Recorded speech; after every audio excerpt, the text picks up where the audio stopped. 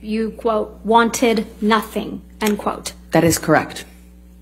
But you hadn't donated your entitled, entire $7 million settlement to charity at that point, had you? That's incorrect.